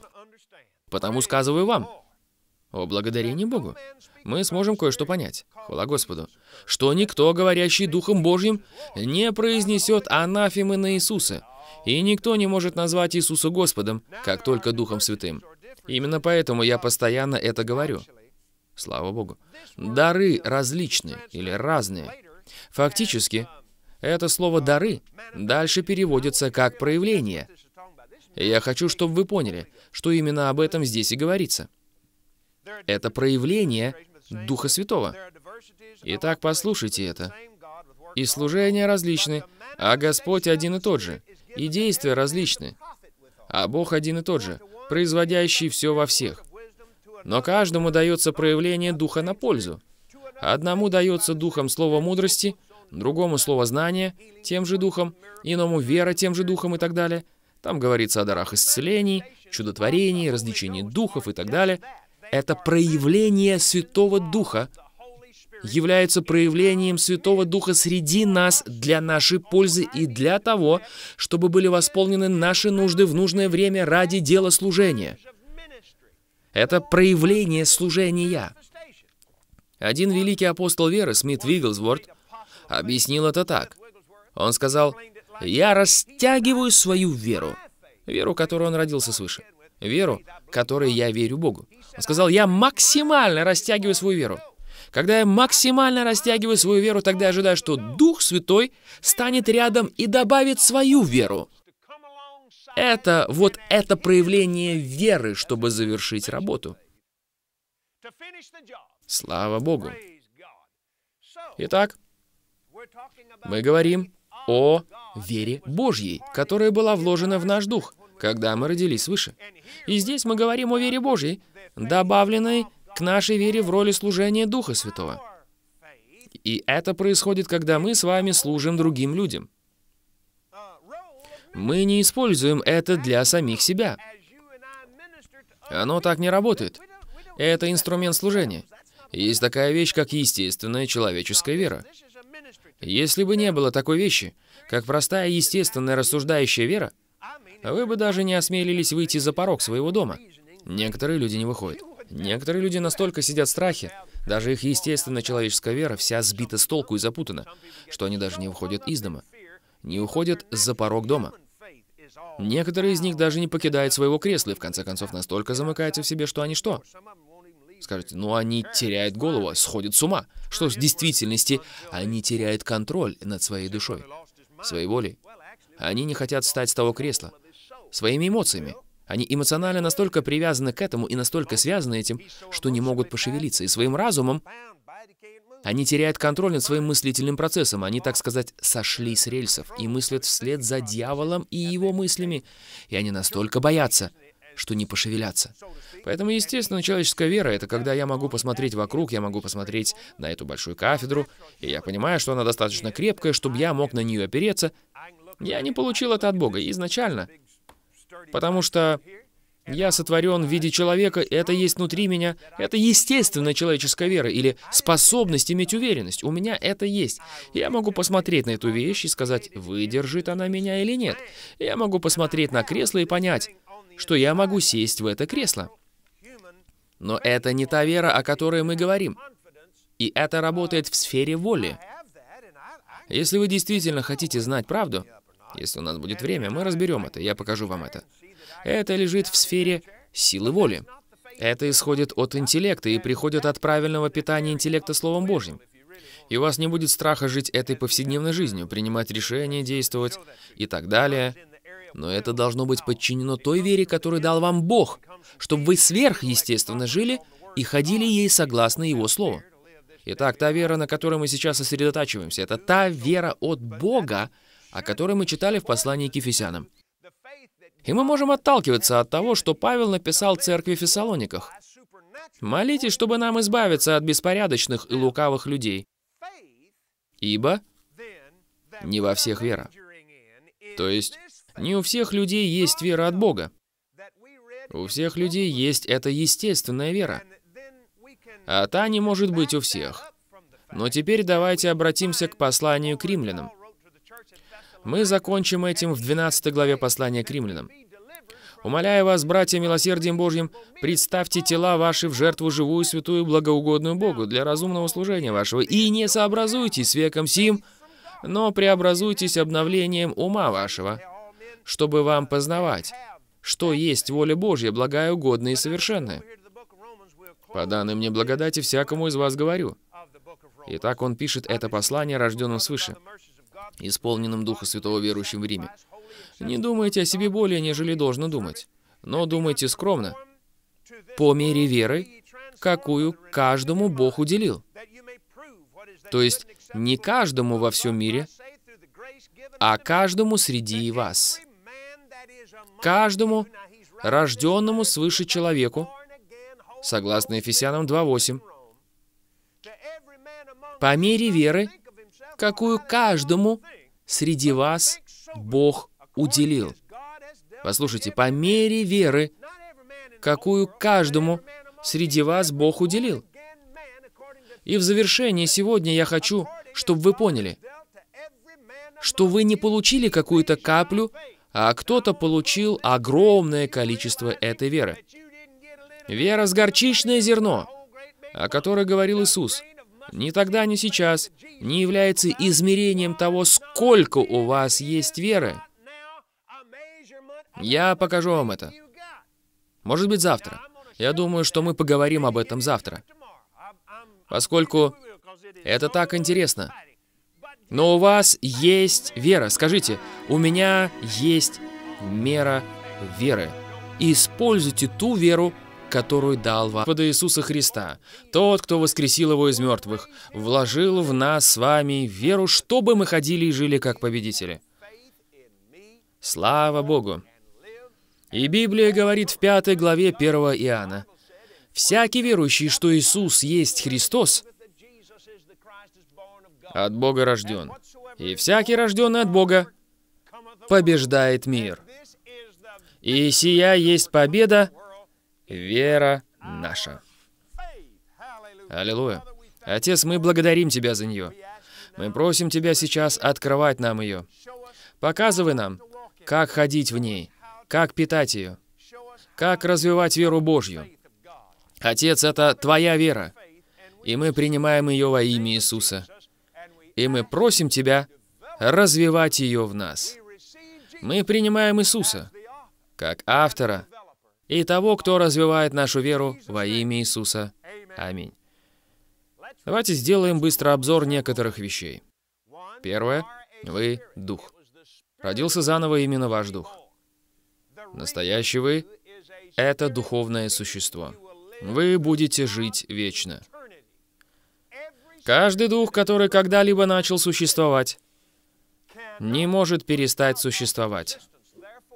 Поэтому любой дух, в котором по-прежнему есть природа дьявола, который никогда не делал Иисуса Христа Господом в своей жизни, я говорю сейчас не о вашем теле, я говорю о вашем духе, будет заключен в сам ад, потому что дух человека — это дух наивысшего ранга, который когда-либо сотворил Бог — и он находится с Богом в одном творческом классе, и мы можем видеть через Бога, явленного во плоти, человека Иисуса Христа из Назарета.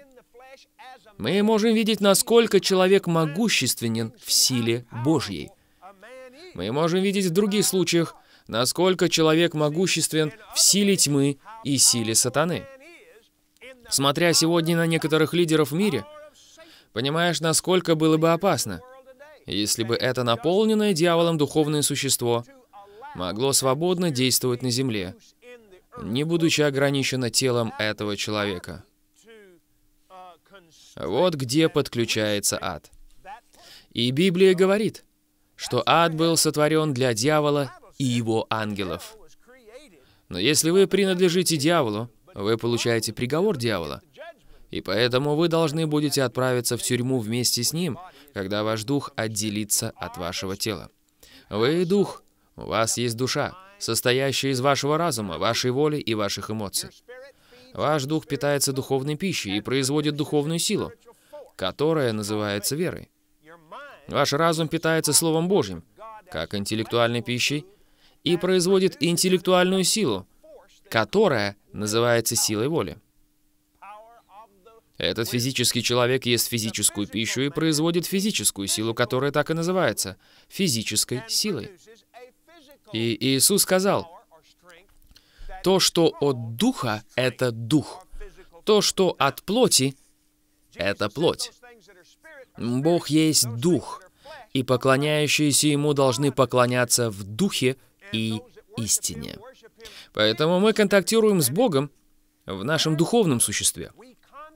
Мы не контактируем с Богом при помощи нашего разума.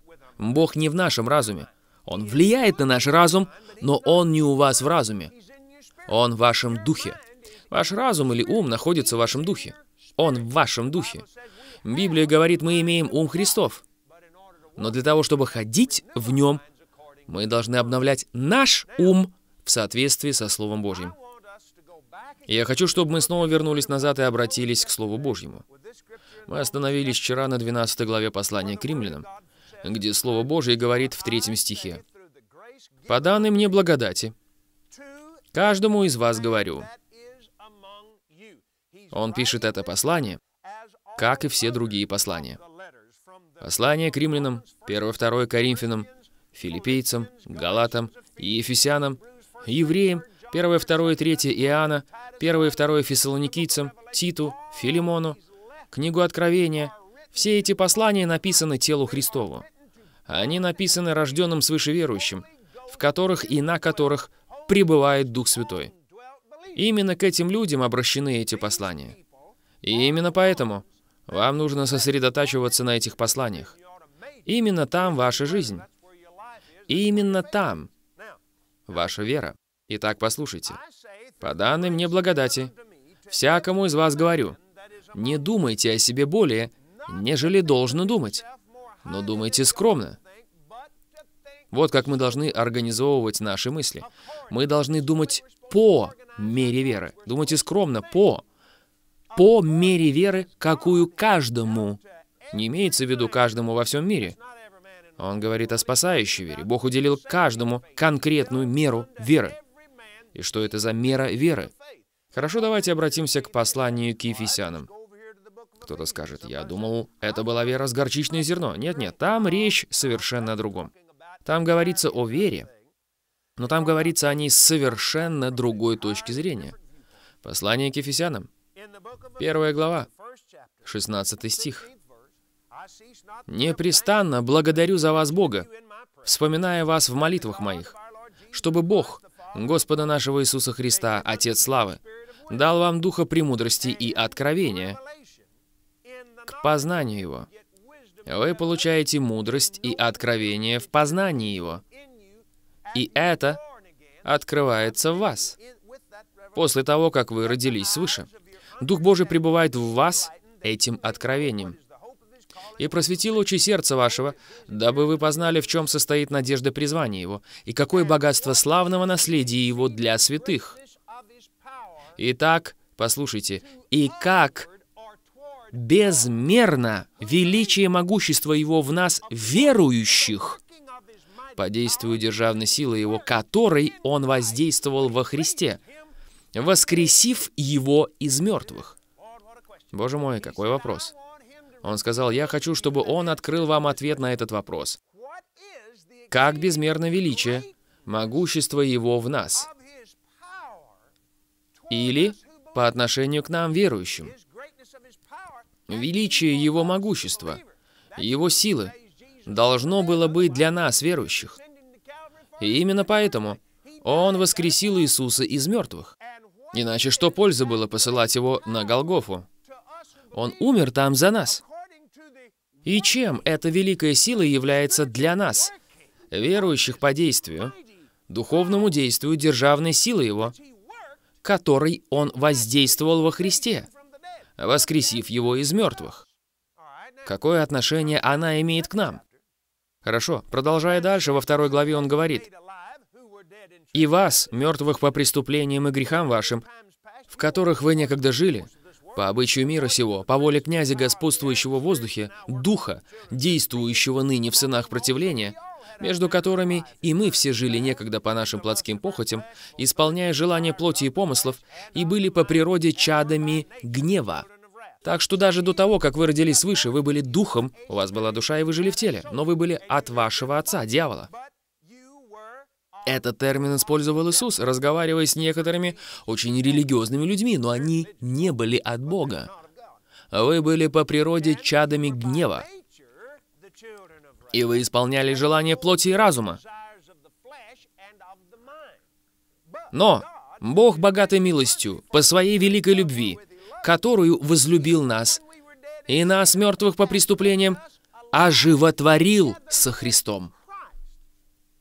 Другими словами, вы помните, он использовал слова действие, дела, воздействовал.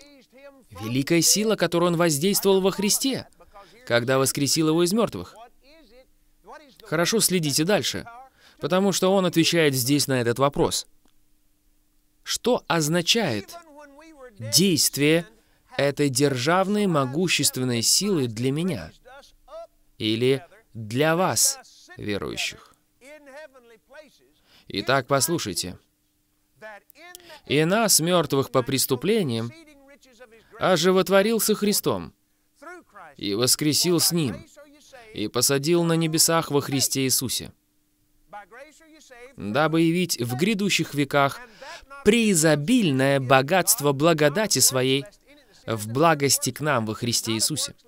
Ибо благодатью вы спасены через веру, Благодатью вы спасены через веру, и сие не от вас. Божий дар. Не отдел. Чтобы...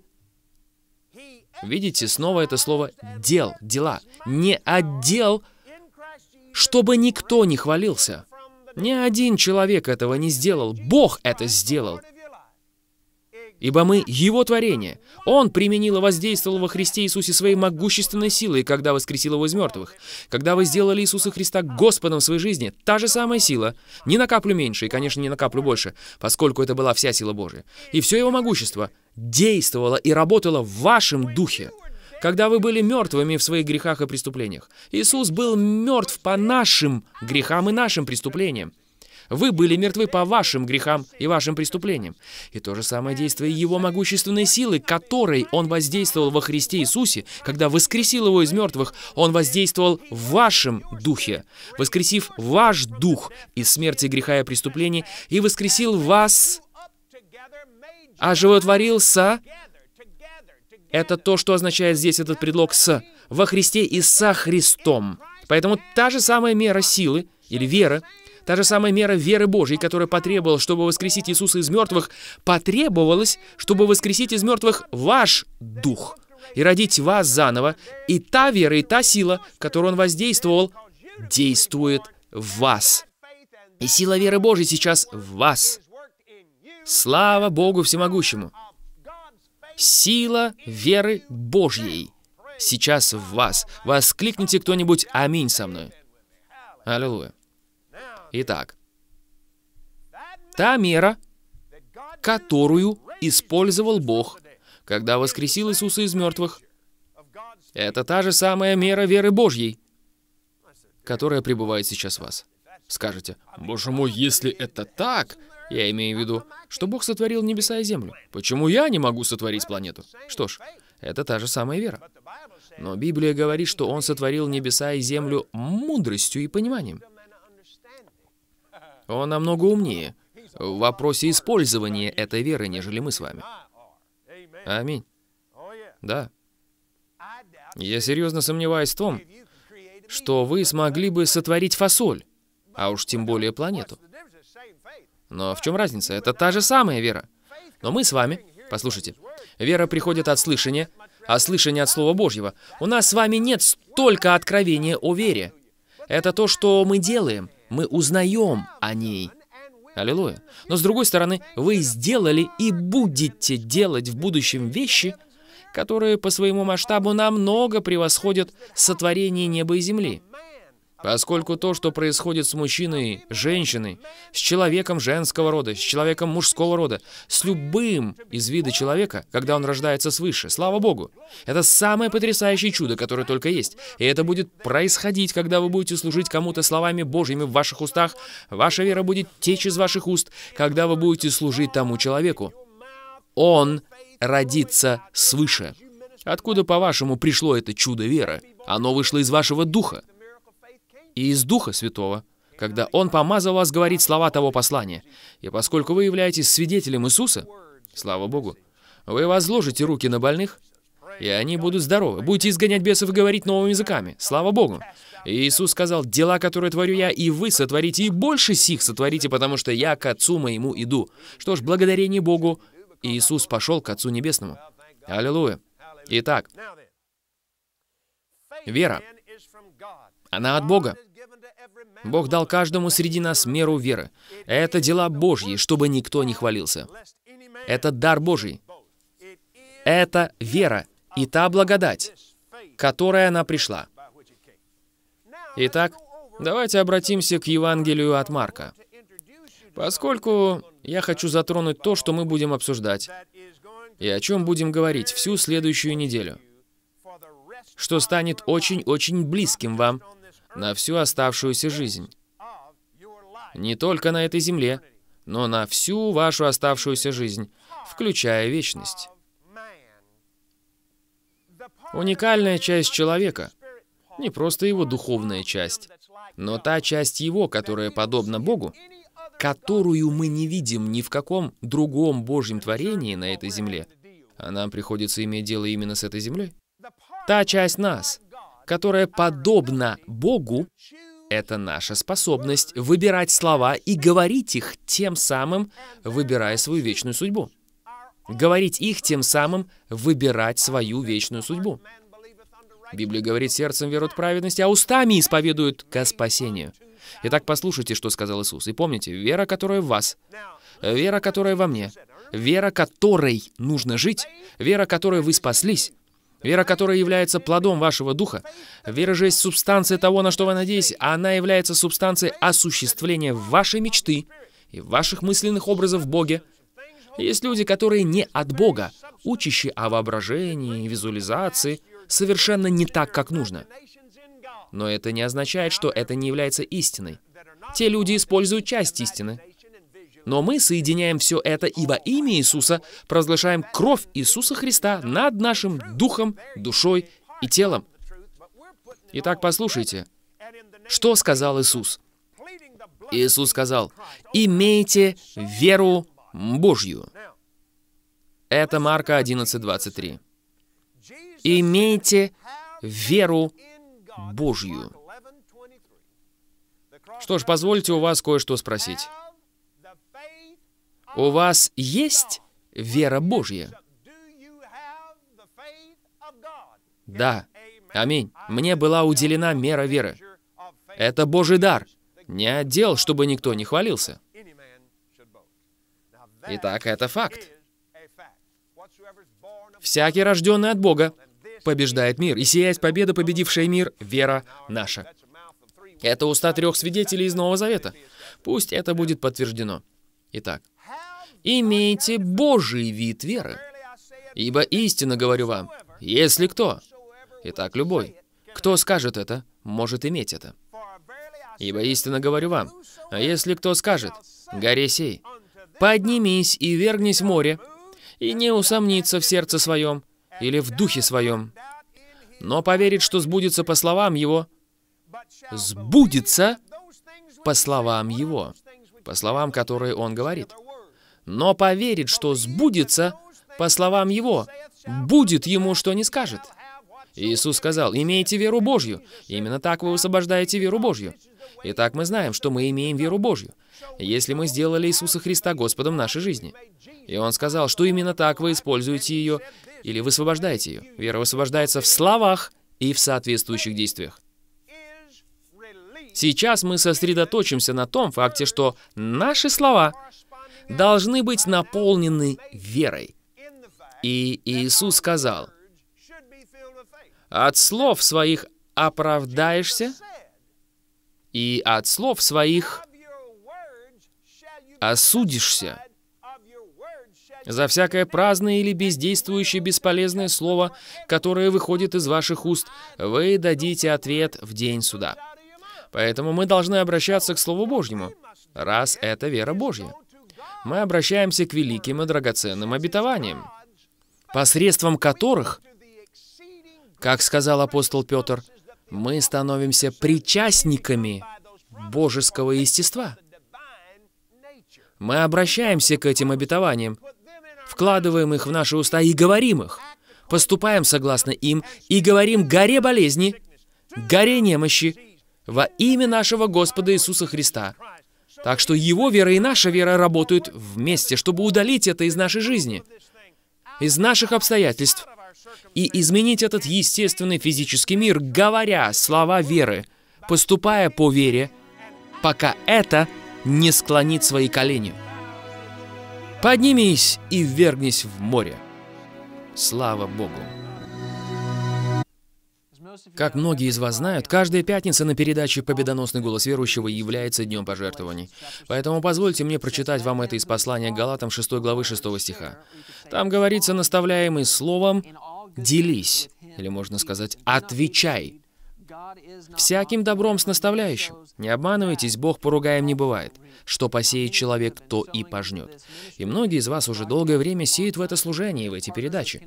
Вы являетесь партнерами с Кеннетом и Глорией Копланд в этом служении, в том поручении, которое дал им Бог. И мы хотим, чтобы вы знали, насколько мы признательны вам. Мы благодарим вас за то, что вы стоите с Кеннетом и Глорией. Спасибо вам за то, что вы стоите с тем, что поручено этому служению. И, Отец, во имя Иисуса, я благословляю наших партнеров. И если нас смотрит кто-то еще, для кого у тебя есть поручение поучаствовать в том, что делает это служение, я прошу Тебя, Господь, ясно проговорить к ним и возгреть в них веру, необходимую для того, чтобы быть частью этого и начать вкладывать Царство Божье и в то, что Ты делаешь по всему миру. Мы благодарим Тебя во имя Иисуса. Послушайте, если вы пропустили какие-то передачи на этой неделе, вы можете найти их на нашем сайте kcm.org.ua. Вы всегда можете посмотреть их там и нагнать нас. На следующей неделе брат Копланд снова будет на этих передачах, поэтому мы приглашаем вас присоединиться к нему. Это очень актуальное послание для тела Христова, которое поможет нам одерживать победу. Слава Богу, даже в эти весьма трудные времена. Не пропустите эти передачи, сделайте для этого все необходимое. Обязательно присоединяйтесь к нам на этих передачах. И, конечно же, если вы пропустите какие-то из них, вы всегда можете зайти на наш сайт kcm.org.ua и в любое время совершенно бесплатно скачать их оттуда. Слава Богу! Большое спасибо, что присоединились к нам сегодня. До следующей встречи, а пока я, Джереми Пирсонс, напоминаю вам, что Бог любит вас, мы любим вас, и Иисус Господь.